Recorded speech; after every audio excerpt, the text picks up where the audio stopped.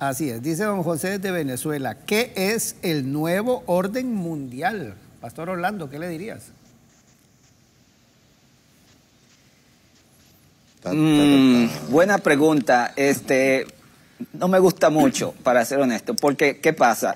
bueno, primero eh, se puede decir que ahora mismo hay un hay una un intento que está en marcha de alterar el orden. Eh, me refiero a la democracia. Por ejemplo, eh, China comunista eh, tiene un plan ah, para el 2025 eh, que no sé cómo se dice bien en español, que es el One Belt, One Way, que es un camino, ¿verdad? parecido mucho a la filosofía romana. Y es que esta gente están comprando hasta en nuestros propios países, territorios, puertos, y China está en un movimiento, China comunista está en un movimiento expansivo porque ellos quieren ser el poder mundial número uno lo que está haciendo Putin eh, ahora mismo también está alterando ese orden y yo creo que hay una amenaza contra eh, el movimiento de la democracia porque muchos la consideran irredimible y mala, etcétera, etcétera, etcétera. Yo creo que es algo satánico, pero bueno, en ese sentido pues hay una alteración del orden mundial. ¿Por qué no me gusta enfatizar mucho esas cosas? Porque para mí, cuando el Señor ascendió al cielo y se sentó a la diestra de Dios, comenzó un orden mundial y es el orden del reinado de Cristo en los corazones del mundo. Y cuando la gente se enfoca mucho en estas cosas de escatología, me parece que pierden de vista el punto principal y es que Cristo resucitó, está reinando, es el jefe, es el rey de los reyes de la tierra y mi énfasis es cuando yo enseño profecía es mirar a Jesús. Él es el verdadero rey del orden del mundo. Este, Otoniel, se le da una, un, bueno, se habla y tenemos este, pastores en enlace y todo, ¿verdad? Que, que, esto del nuevo orden mundial tiene unas implicaciones escatológicas y todo esto. ¿Qué, cómo, ¿Cómo lo ves, Otoniel? No, primeramente para definir un poquito lo que es el orden mundial, es, es una, un concepto eh, político eh, donde se dice que hay un pequeño grupo, una élite, un grupo de personas que básicamente eh, son desconocidos y son como los puppet masters del proceso de llevar a la sociedad y al mundo a un sistema total, lo que se llama totalitario, que es lo que básicamente está explicando eh, Orlando, que es un ataque en contra de todo sistema que vaya, eh, por ejemplo, democracia, esa libertad y, y se dice, se entiende que hay un grupo de personas que son una pequeña élite, que son los que están detrás de todo este, este movimiento y que son los que están provocando estas, estos cambios.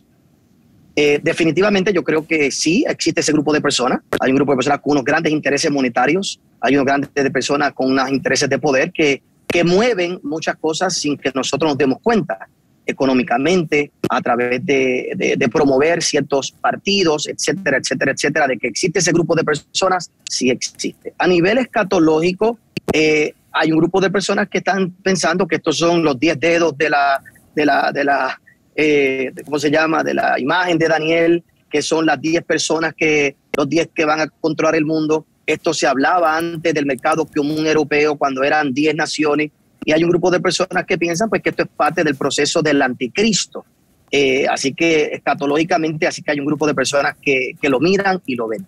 En lo personal, yo creo que todo intento natural de esto eventualmente va a fallar, realmente no va a suceder, vuelvo y repito, desde mi postura postmilianista, donde creo en el dominio, en la etapa gloriosa de la iglesia, donde creo que la iglesia va a ir aumentando, donde creo que la iglesia va a ir progresando, todos estos ataques del mundo siempre van a estar, pero creo que en realidad eh, el orden mundial más grande es el orden de Dios, es el orden del reino que nadie puede vencer. Ya Dios trajo un orden nuevo que es a través de la crucifixión, la resurrección de nuestro Señor Jesucristo, y que creo que lo que la iglesia tiene que tomar es autoridad y dominio durante todo este tiempo. Esa sería mi explicación básica de lo que usted me acaba de preguntar.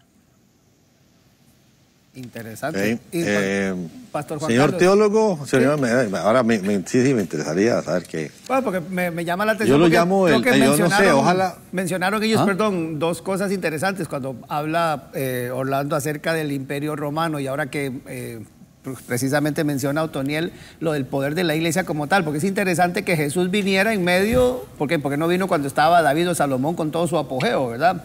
El cumplimiento de algo como eso tan importante para el, para el mundo entero, que viniera en medio de la ocupación romana, cuando uno diría, bueno, estaba el, eh, sojuzgado de Israel incluso, pero aparece él con un mensaje diferente. Entonces, ¿tendrá que ver el nuevo orden mundial con un aislamiento de la iglesia o no? No, no necesariamente, pero hay que entender que nuevo orden mundial hoy no es lo que era hace dos mil años. Para Roma, Roma dominaba todo el Mediterráneo, ellos dominaban todo el mundo, aunque estaba excluido América, África del, Sur, estaba excluido Asia, ¿verdad? El lejano Oriente, pero para ellos ese era su mundo. Entonces era un nuevo orden mundial, era un orden, la paz romana, que gobernaba el mundo regionalizado, pero no era todo el mundo, pero estamos en una época donde sí entendemos todo el mundo globalizado. Eh, que es una gran diferencia con, el, mundo de los incas, el mundo de los aztecas, el mundo de, una tribu en África. Era el mundo de ellos, pero ahora sí hay la posibilidad de una interconexión globalizada.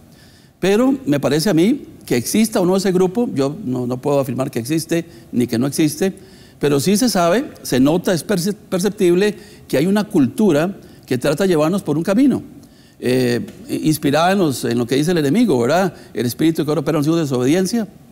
Pero yo no lo quiero ver, ¿verdad? Como parte de, los diez reyes, de, ¿verdad? De, Apocalipsis, ¿verdad? De Babilonia. Pudiera ser, pudiera no ser, pudiera estar ahí mismo. Pero sí creo que hay una tendencia humana a tratar de gobernar su mundo, como Nimrod. Primero que se levanta cazador vigoroso contra Jehová. O sea, eso siempre ha existido y siempre lo habrá. Y la iglesia es un estorbo para ellos, y en eso estoy de acuerdo con lo que acaba de decir Roger.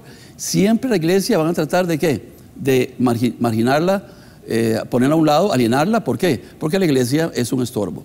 Eh, pero yo creo que eh, soy un hombre de fe y creo que la iglesia seguirá adelante a pesar de, ya lo hemos hecho, lo hicimos con la oposición de Roma, diez persecuciones no nos destruyeron, más bien nos fortalecieron.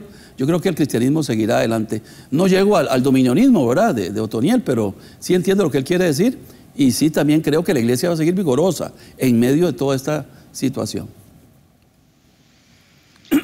Y la historia, y la historia, la historia nos lo dice, mira, los griegos desaparecieron, los babilónicos desaparecieron, los romanos desaparecieron, lo que queda es la historia. ¿Quién quedó? El pueblo de Dios, el pueblo judío y la iglesia. Así que las civilizaciones van a cambiar, el mundo va a cambiar, pero algo va a quedar, el pueblo redimido de Dios a través de toda la historia. Así que van a haber cambios de poder, van a haber cambios geopolíticos a través de los tiempos, van a haber todo tipo de intentos. Hoy nos enfocamos en Europa, pero también en Centro y Sudamérica hubo intentos. Cuando estaba, ¿verdad? En, algunos países, no menciono nombres, pero en otros países de Centro y Sudamérica hubo intentos de, organizar y de conectar unos países y hacer unas asociaciones para hacer unos frentes, para llevar unas ideologías. Esto siempre ha existido porque el hombre siempre quiere poder y sí, hay un montón de intereses económicos detrás de todo el asunto. Pero de todas maneras, las puertas del Hades no prevalecerán contra la iglesia. Sí, esa es la promesa. Amén. Amén. yo, yo en esto del nuevo orden mundial y todo me, me, eh, me declaro ignorante por decisión, ¿verdad? Cuando estaba jovencillo, hace muchos años, este, que me enseñaban escatológicamente que no llegábamos al 88, el, el, el pastor José Pent, quien hasta podría estarnos viendo en este momento allá en Costa Rica. Esa fue su posición escatológica. Entonces, escatológicamente yo he tenido tanto enredo, ¿verdad? En, durante tantos años, ¿verdad? Que yo le nota, ¿sí? mejor no sé, no sé cómo es. Lo que sí, lo que sí hay es un, hay, un viejo desorden mundial, ¿verdad? Yo sí creo que ha habido un desorden mundial siempre. Ojalá el orden mundial fuera bueno, ¿verdad? Pero posiblemente al que están hablando no. Pero sea como sea, escatológicamente el asunto, vea, yo, yo no, yo me declaro ignorante por decisión en, e, en ese tema, porque sea como sea, yo lo que sé es que sea que me voy porque muero, sea que algo pasa, de lo que escatológicamente algunos creen, yo sé que estoy seguro porque Jesucristo pagó el precio por mí, yo acepto ese regalo de lo que Él hizo por mí. Entonces, sea como, como sea que ocurra, yo estoy tranquilo porque yo ya acepté a Jesús. Y espero que usted también lo haga, hable con alguien, con algún vecino, con algún familiar, o a hoy mismo tome esa decisión por Cristo Jesús. Hola ¿Sabías que puedes ver este video y otros dentro de nuestro canal de YouTube? Nada más recuerda suscribirte a nuestro canal y activar la campanita para que te puedan llegar las notificaciones cada vez que cargamos un video nuevo y puedas ser el primero en verlo y disfrutar de todo nuestro contenido.